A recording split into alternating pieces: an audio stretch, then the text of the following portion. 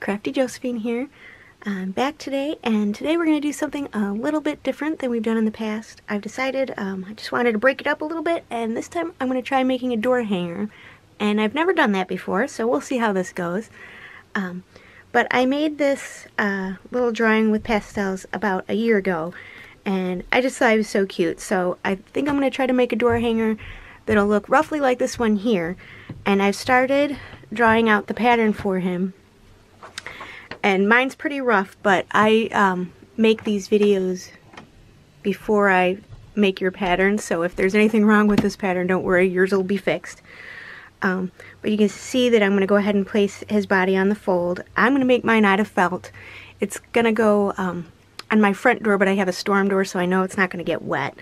Um, but if yours might get wet, then you might want to, you know, choose a different fabric. And then two mittens, um, and that will also felt or fleece. I haven't decided on that one yet. Probably cut my nose out of felt and then uh, two shoes I think also out of felt or fleece. Alright, so I'll go ahead and get started on that. You can see I accidentally um, drew my patterns on top of each other, but again, yours will be fixed, so no worries.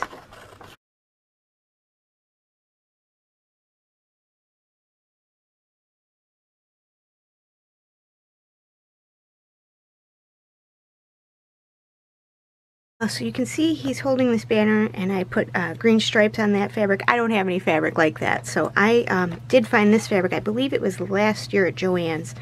Um, and I just really like it. It just feels very uh, St. Patrick's Day to me. So I think I'll probably be using this for my pattern. Uh, my pattern, but um, my banner. Oh my goodness. Um, but I'm going to cut that out a little bit later.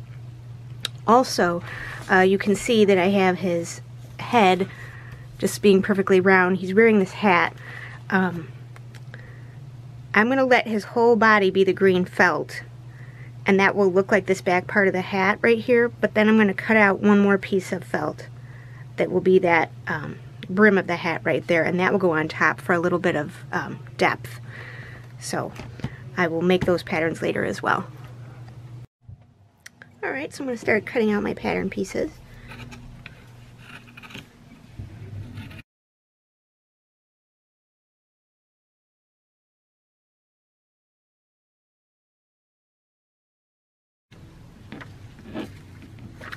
And guess what? I should have just cut two of these because I need two.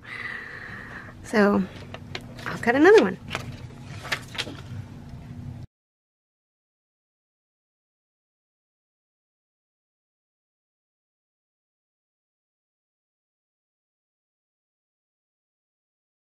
His mittens, I have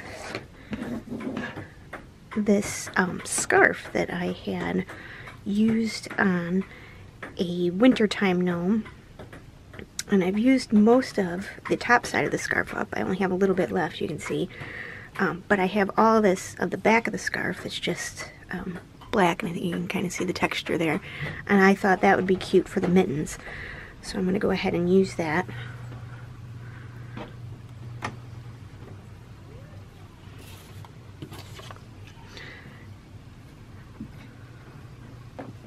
think if I fold it, there we go. I think that should be, yeah, that'll be all right.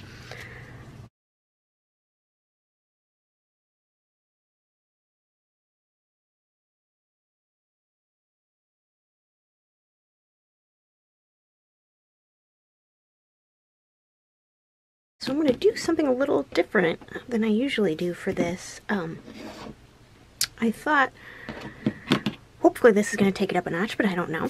I'm going to use felt for my shoes, but I decided I wanted them to have a little bit of shininess to them. So I bought this stuff a while back, um, Vinyl Fuse, and I've tested it out on a couple fabrics, but I've never actually like really used it in a project, so I think I'm going to use it for this one. Um, and it, you know, comes with the directions, and you just iron it onto your fabric, and then you can cut your um, pattern out and sew it, and I'm, I'm sure it, you know, dulls your needle a little bit quicker, but um, I think I'll do that so that I can have um, shiny gnome shoes. Alright, let's get over to the iron then. Alright, so I'm on my ironing board now, and I've cut a little bit of this uh, vinyl fuse from the roll. Now the directions say that you should, um, you know, uh, pre-wash your fabric and all that, probably worrying about shrinkage, but um, we don't need to worry about that because I'm not going to wash my leprechaun gnome or his shoes, so I'm not going to worry about washing my felt. Um, but what you do is you peel the backing.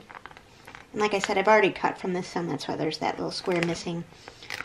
And the side that, that was touching the paper the side that goes down.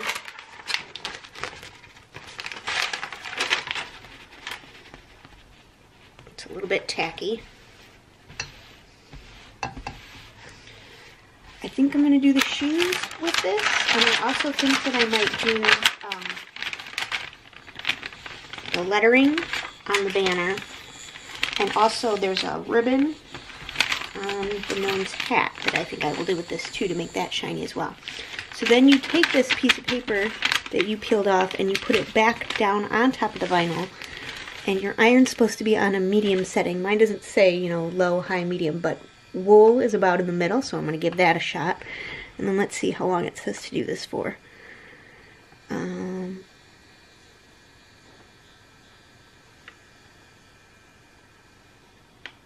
it says about eight seconds. And it says, you know, to be careful not to touch your iron to the fuse. I imagine it would probably stick to it, so you just want to be careful not to get it right on that stuff.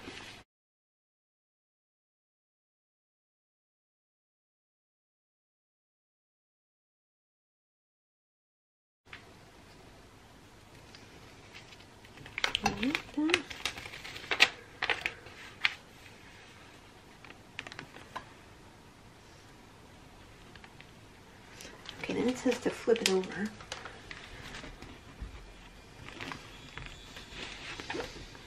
And iron the back for four seconds. You know, I'm not even sure if you're supposed to iron felt. Don't do it for very long. About that? I have a feeling you're not supposed to, so I'm definitely not going to hold it very long. Because I don't want it to melt.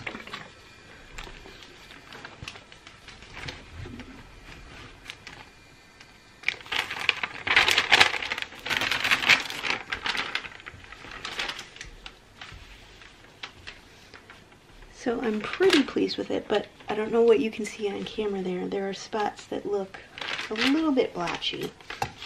So I think I might hold it down just a little bit longer there. Hopefully.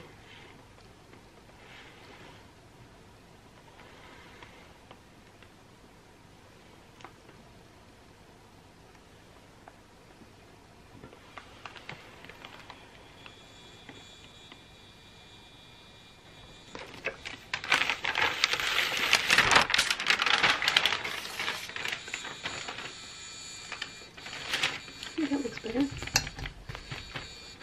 Right, so hopefully you can see some of the shininess there on camera.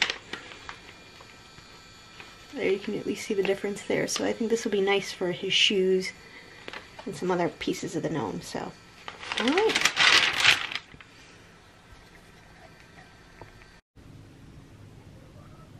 Alright, so I've got the vinyl fuse on my felt and I'm going to go ahead and trace the patterns for um, the boots um, on here and I'm to, it says to cut two on doubled fabric, I'm just to cut four on single fabric, but you know, you do whatever you want to do. Um, and I could flip it over and then use my chalk on the back, but I found that I can see on this, it may not show up great on camera, um, but I can see the Sharpie marker on here so I'm to go ahead and just do it on the front side so that I know where the vinyl fuse is, because if I flip it over, obviously it's a bit of a mystery. And I would be kind of guessing as I drew.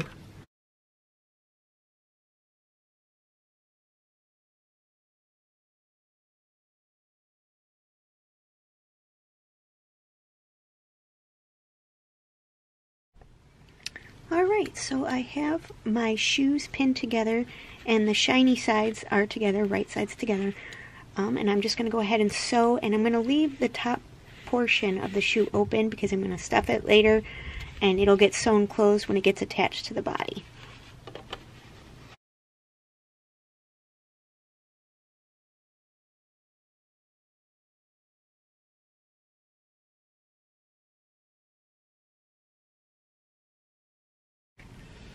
Alright, so I'm going to change um, my technique for the mittens and the shoes. And I'll explain why, and maybe it makes sense and maybe it doesn't. You guys can let me know in the comments. Um, the, the boots are going to be sewn in and they're basically going to be sewn shut with the body. And so they're going to be a little bit floppy from the body.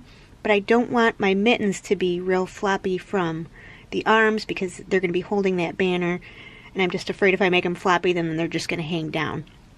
So um, I'm going to sew up the outsides of these, but then I'm going to sew them to the sleeve. And it probably would be easier if I just sewed them to the sleeve first, but then I feel like I'd have to go back and forth with my thread colors, and I'm much too lazy to do that. Um, so I'm going to try doing it this way, and I might kick myself later, but I'm just going to try to leave that little edge there so that I can sew to the sleeves in a little bit and not have to change back and forth to green and black thread. Um, maybe this will make more sense later. And maybe I'm completely wrong. We'll see what happens.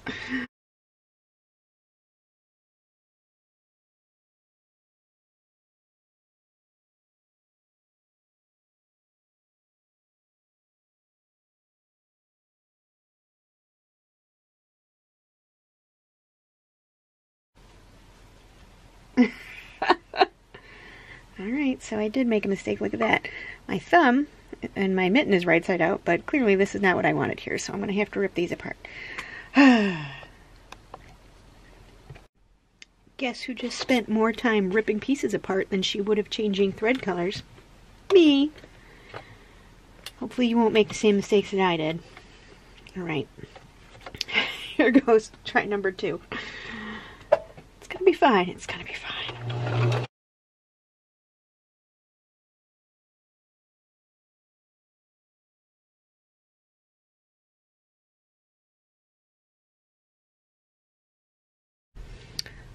So I did one mitten correctly. So, so now I'm going to do the other one, and I'll just show you, hopefully you'll be able to see. So I have my mitten, and it's still turned with the right sides facing together. It's sewn together, and then I just have that little bit at the edge there that I can fold and sew to the sleeve. So I got to do right sides together, and I'll do each side of the sleeve separately which is tricky. And again, this is where I got in trouble because I made this decision to do this so that I wouldn't have to switch my thread colors. And now I'm thinking I should have just done that, but oh well. Powering through.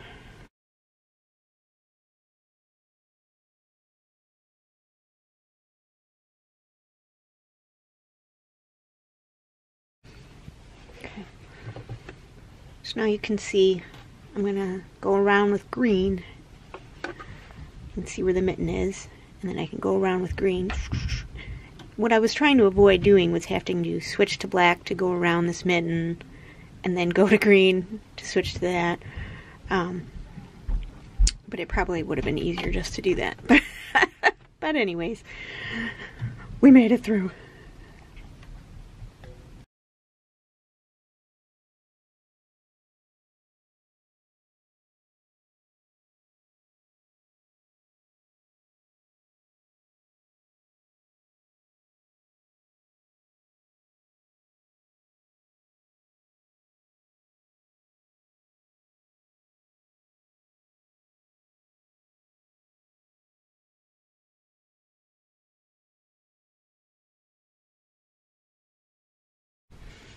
Okay, so I'm going to start sewing up the body here pretty soon.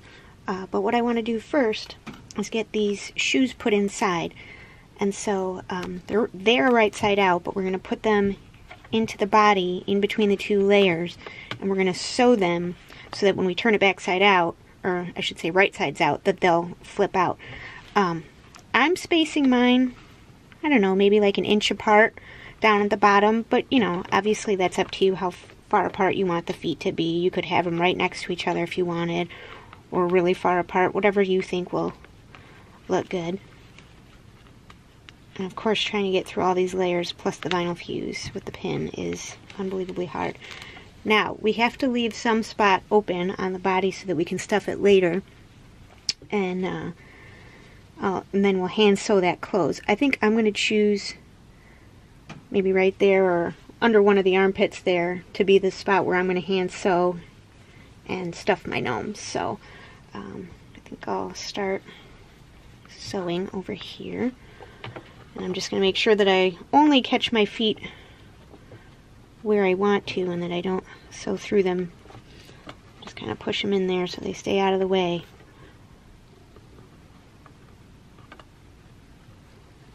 We're sewing this guy up.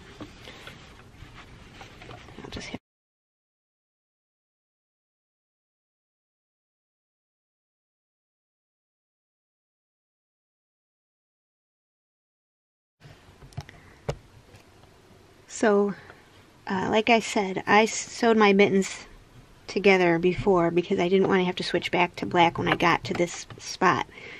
Um, but that's always an option. You could have sewn the sleeve and the mitten together first and then gone and switched back to black, done the mitten and gone around.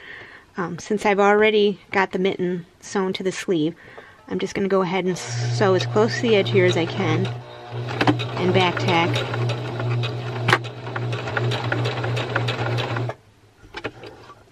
And then I'm just going to move over the other side here.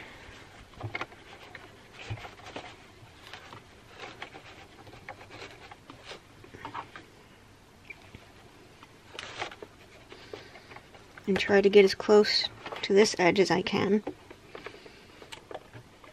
And this very well may not have been the best way to do this, but it's the way I chose and I hope it's going to turn out okay once we get it all turned right side out.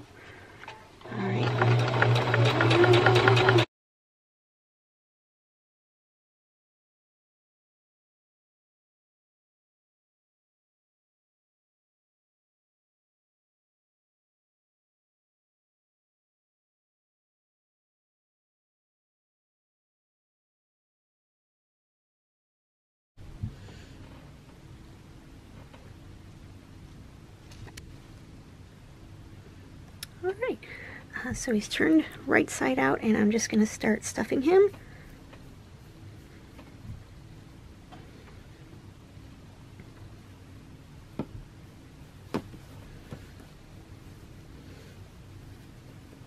I'm to try to get to that mitten first because I think that's going to be the hardest parts to get to.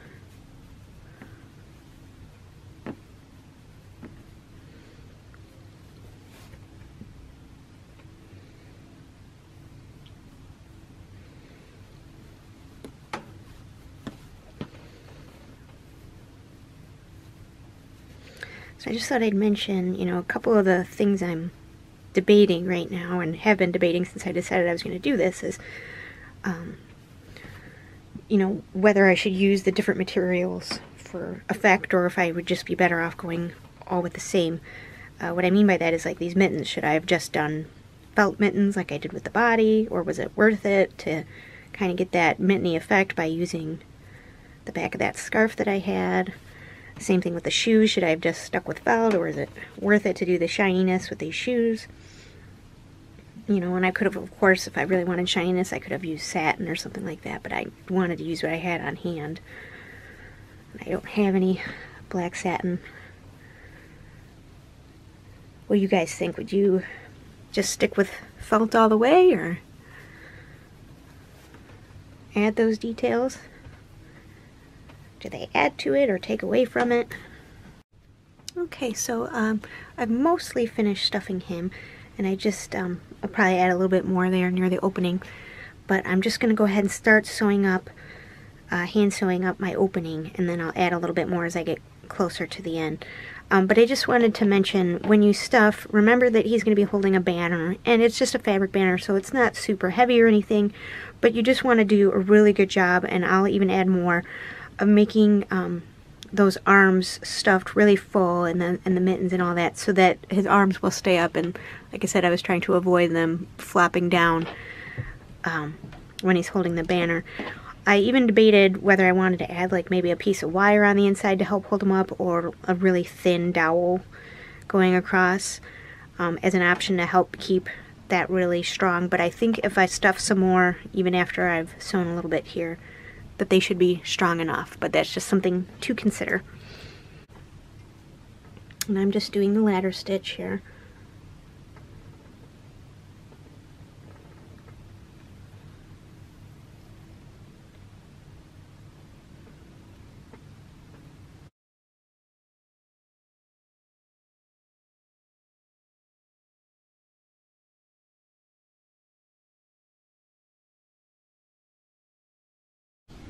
Okay, so now I'm getting paranoid that the arms are going to sag more.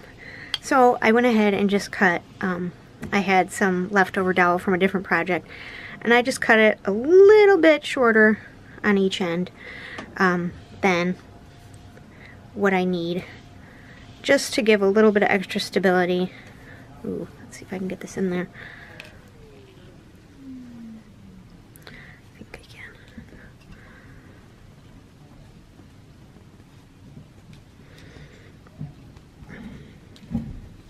Good thing the mittens stretch, right?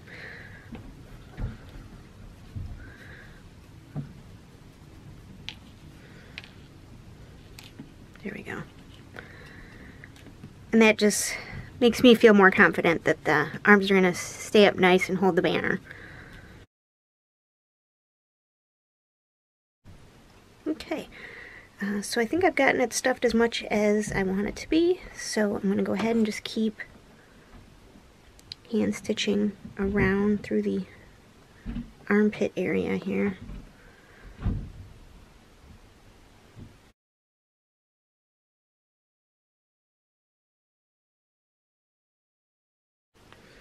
Okay, so I've got uh, some thread doubled up.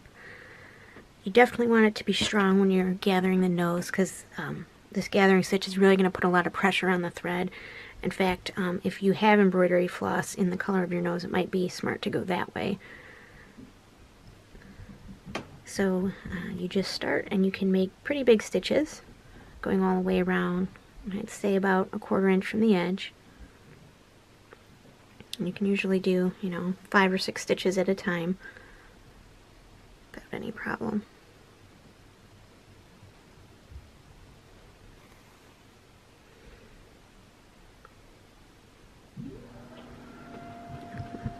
Closer you can see.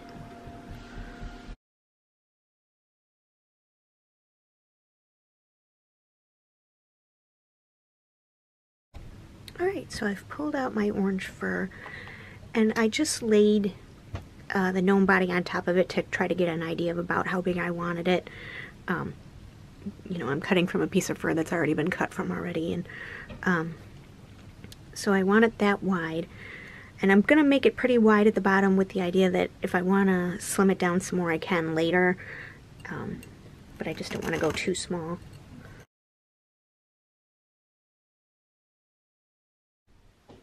So I'm actually stuck in my craft room right now. I know, terrible, right? Um, because my husband is working on the stairs and I can't go upstairs to get my glue gun. So I decided to work on making the rest of the patterns for the gnome, or at least most of the rest of the patterns. Um, so this is going to be my banner shape, and I'm going to go ahead and cut that out and start working on that.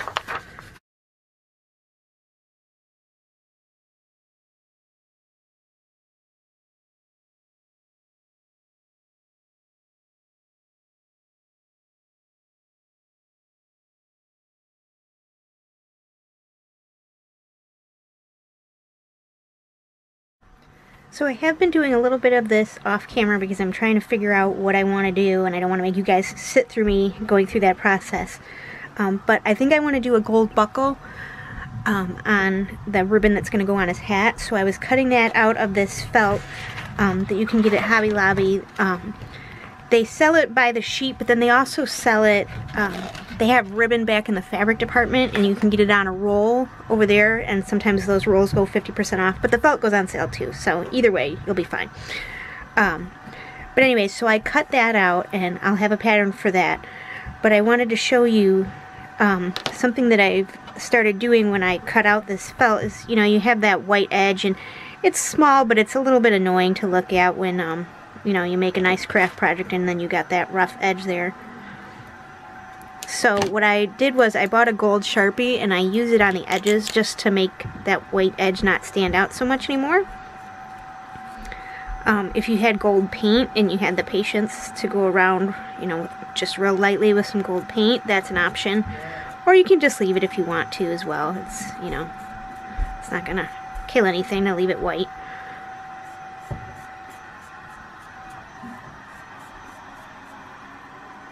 Kind of out of focus, isn't it, here? Is that better?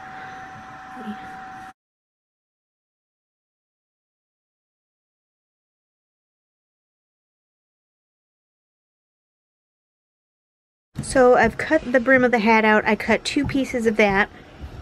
And then this is going to be my ribbon, which is some more of that felt with the vinyl fuse on it. And this will just fit right through there.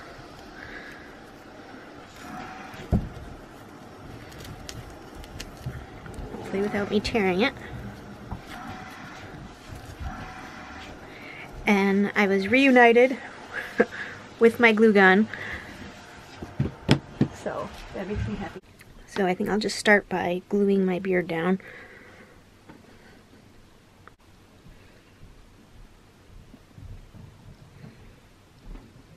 Guess I should say the beard.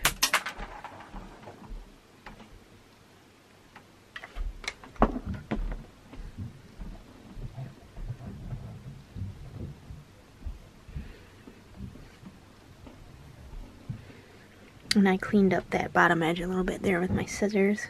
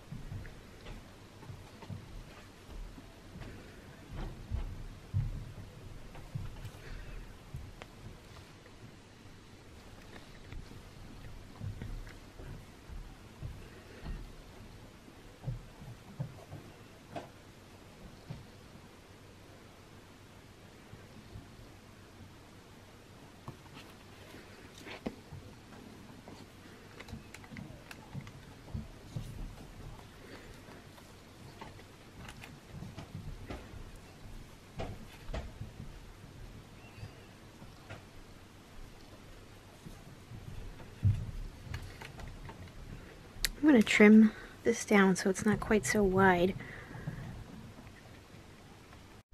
Okay, so while I will be supplying the patterns for you guys, actually placing the things on the gnome is going to be up to you. So I'm just going to tell you a couple of things um, that I'm thinking about. One is that um, this ribbon is supposed to be further back in space than this trim part here. Um, but at the same time, I don't want this buckle to be covered by the front. Um, so I, I still want that buckle there. So what I'm going to do is try as best I can to cover the bottom of this black edge with the green felt, but leave the gold on top of the brim. Even though that's not really where it would be, I think it just looks best that way. Um, so what I'm going to do is, I think, glue the black piece first and then put my brim. Something to keep in mind is that um, you probably want your brim to be above your arms just so it sticks out as being a bowler hat. you know, otherwise it just looks like more of the arms maybe. So I'm going to try to push that up there some, covering the edges of my beard. Hopefully, hopefully. Sort of that edge is a little low. Just going to have to work with it. Okay, so like I said, I think I'm going to glue down the black part first and then try to cover with the green. And I'm not going to do a perfect job gluing it yet, just in case I need to move the buckle or need to move it down or up a little bit, then I don't have a ton of glue that I have to work against. Just enough to be able to work with it.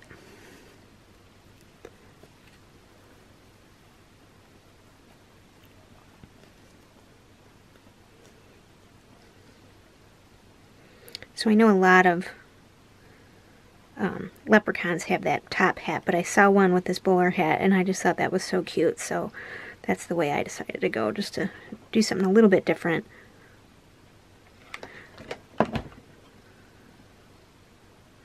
And I'm not going to push too hard with that glue. I probably shouldn't have put so much on because I just don't want it to show through that there's a big glue glob there. So I probably should use less glue. I'll try to do that going forward.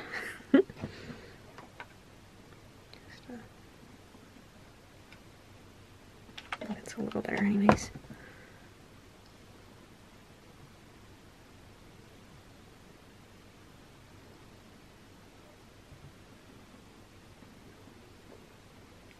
I can move this if it's not centered. Glue that nose on.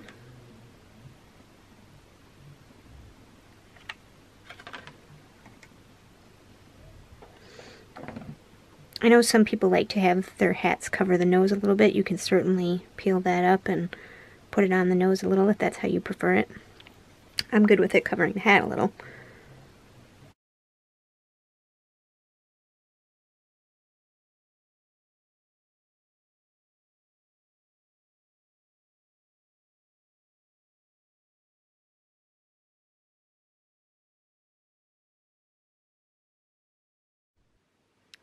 Okay, so I want to start putting my banner together.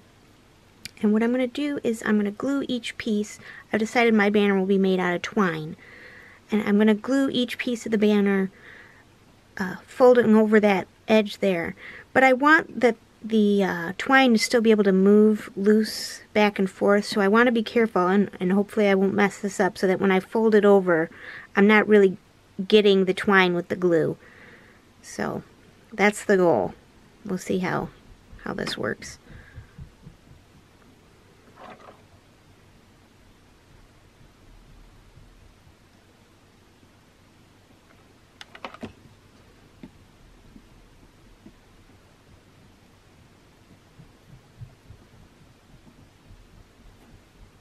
So far so good, I think.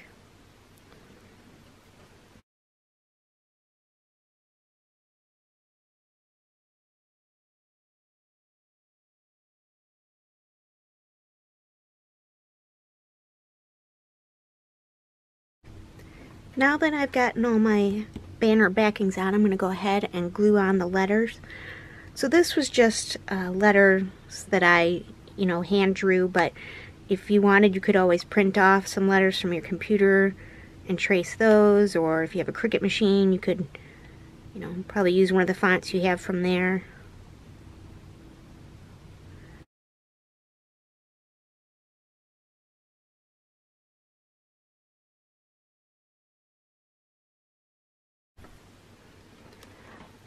I want to go ahead and attach a little four-leaf clover to his hat. So what I'm going to do here is just trace a little clover on the same color felt that his hat and body were made out of. You could do a different shade of green if you wanted.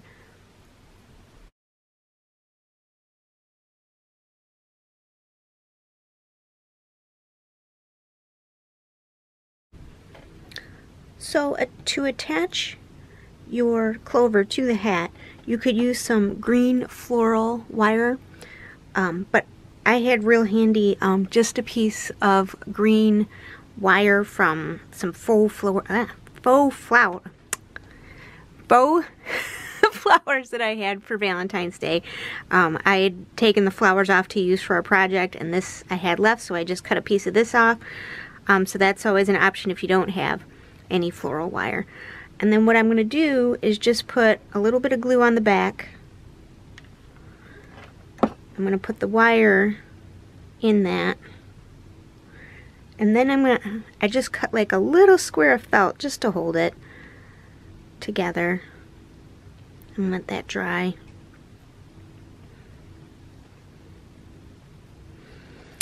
And then I'm going to tuck that in there. It's probably still a little bit longer than I wanted it. But I figured cut it too long and I can always cut it down. So, let's see, how far do I want it? I'm to try there and see how that works.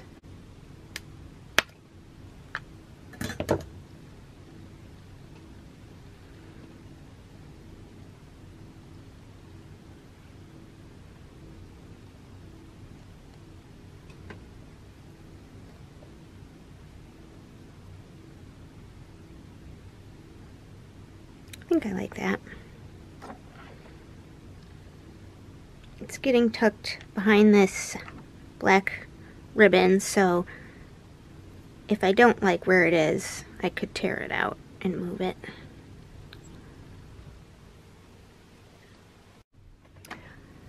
So the next thing I want to do is attach his banner to him. And what I'm going to do, and there's so many different ways you could do this, but uh, what I'll do is just tie a knot here, really just to try to create a little more volume, since the rope is so skinny. And I'm going to stitch this to the back of his hand. You could glue it, absolutely. Um, you could really probably just tie the twine or whatever string or whatever you're using around his hand. Um, I'm just choosing to stitch.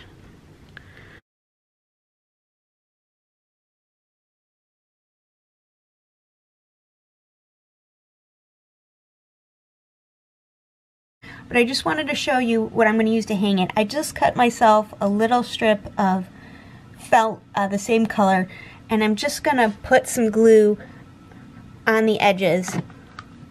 Oops. Gun string. Oh my goodness. There we go.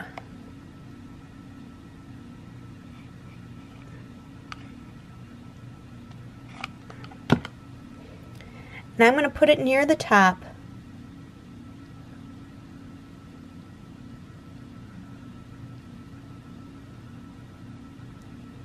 Because if I hung it down here, then when he's hanging, he's going to kind of lean forward. So this way, put it near the head, and it shouldn't lean too far forward from whatever I choose to hang it from.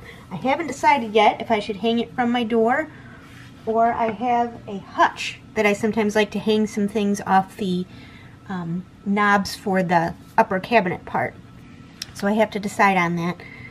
Um, but now that I have this loop here, what I can use is a piece of pipe cleaner that I can shove through here and I could attach this to the wall. I could use ribbon if I wanted to use ribbon or make a pretty bow at the top. Um, but you know, I can just make a loop and then I can hang it from this or um, I might even use fishing line to go through this if I hang it from my front door because I won't want anybody to see, you know, it's a pretty long hanger to my wreath hanger. So I could do that to kind of disguise. Um, but so lots of options of, of ways to hang it. All right, well, I hope you guys enjoyed this video. And if you did, please like and subscribe. Uh, I love reading comments and responding to those, so please feel free to do so. And uh, see you guys soon.